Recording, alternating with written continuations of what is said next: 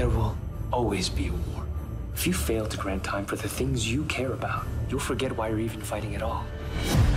So do you think it's true what they're saying about Jace? Jace is not a traitor. If I ever get out of here, they'll come after you. We'll fight them off together. Life is full of hard choices. I don't give up on someone just because they're a hard choice. Shadowhunters premieres Monday, January 2nd at 8, 7 central on Freeform and the app.